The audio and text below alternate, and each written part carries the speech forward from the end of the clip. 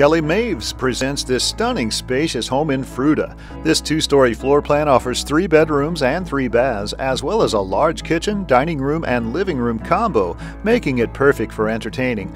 All the bedrooms are on the upper level, including the master, with a large master bath and a private balcony. The large kitchen has plenty of counter space for the family chef. It's within walking distance to all Fruita schools. Solar panels make the electric bills next to nothing. Enjoy a two car garage as well. Call Kelly for your private showing.